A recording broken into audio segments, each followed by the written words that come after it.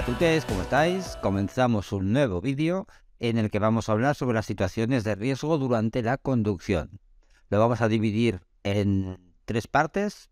En este primero vamos a hablar sobre las circunstancias de la circulación. Hablaremos sobre otros usuarios, zonas de incertidumbre, peatones, animales y otros vehículos. O sea que vamos a por faena. Bueno, pues como hemos dicho, comenzamos con las circunstancias de la circulación. Cuando utilizamos las vías públicas, ya sea en un vehículo o como peatones, tenemos que ser muy conscientes de que a la vez que nosotros circulan también otros usuarios con otros vehículos que pueden ser muy distintos a los nuestros. Todos tenemos nuestro derecho a circular, pero también vamos a tener nuestras obligaciones y debemos de ser conscientes de las características de estos vehículos que en teoría son diferentes a nosotros. Tenemos que darnos cuenta de que si vamos con nuestro vehículo nos podemos encontrar peatones por la calzada, animales, niños, bicicletas, vehículos de movilidad personal, etc. Como hemos dicho, todos tienen derecho a circular y todos tienen también sus obligaciones. Y hablando del derecho de todos los usuarios a desplazarse libremente por las vías públicas, es importante conocer el concepto de zona de incertidumbre, que sería el espacio que rodea a los usuarios y por el que se pueden desplazar de modo imprevisto.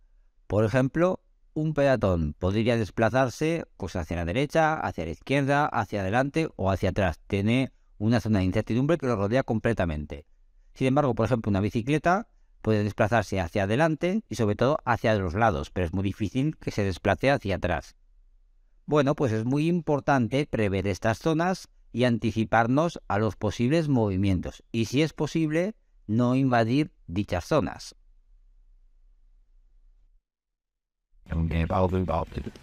La zona de incertidumbre es el espacio que rodea a cualquier persona u objeto en movimiento. Una acción inesperada en esta área podría sorprendernos sin tiempo para reaccionar. Por ejemplo, un peatón que pueda detenerse de repente en la acera o un coche que abra la puerta después de aparcar estarían realizando movimientos imprevistos en su zona de incertidumbre.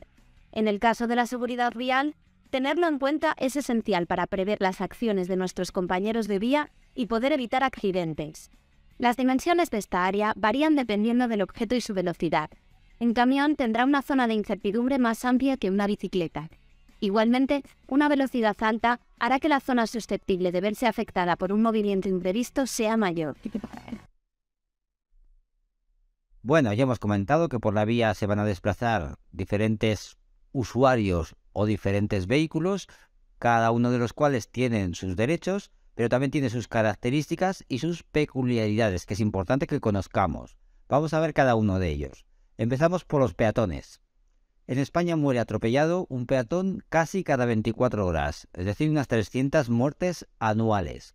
Sobre todo se producen en vías urbanas, aunque son más graves en carretera. Allí eh, la probabilidad de muerte es de dos o tres veces mayor. La principal causa de sus accidentes son las infracciones que cometen ellos mismos, lo cual no quita que los vehículos también tengan que tener un poquito más de cuidado. Y la principal causa pues sería su gran zona de incertidumbre. Ya hemos dicho que se pueden mover alrededor suyo de forma bastante imprevista.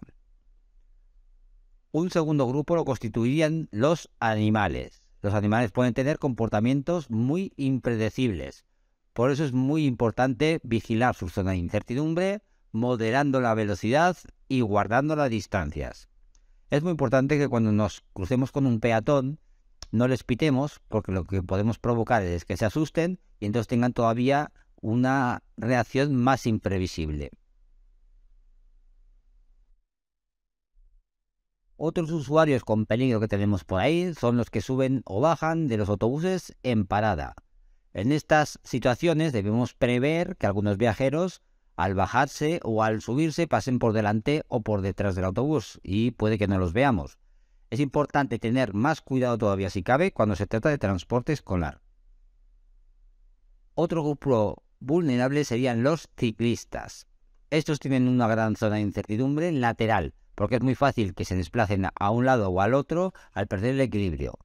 Por eso es fundamental mantener la distancia lateral de seguridad, que será como mínimo un metro y medio, y si les adelantamos en vías con más de un carril por sentido, será obligatorio desplazarnos hasta el carril contiguo para aumentar aún más si cabe esa distancia de seguridad. Otros usuarios, vamos a llamarlos diferentes, serían los vehículos voluminosos. Estos vehículos ocupan lógicamente más espacio en la calzada, con lo que es más peligroso adelantarnos o cruzarnos con ellos.